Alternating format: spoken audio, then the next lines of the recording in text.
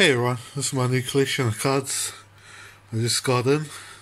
Got the Punisher, Holofoil, Daredevil, Iron Man, Incredible Hulk, and Captain America. I just sold this in and uh, got my collection right here. These are worth about 8 grand each. Okay, see you on next video. Bye.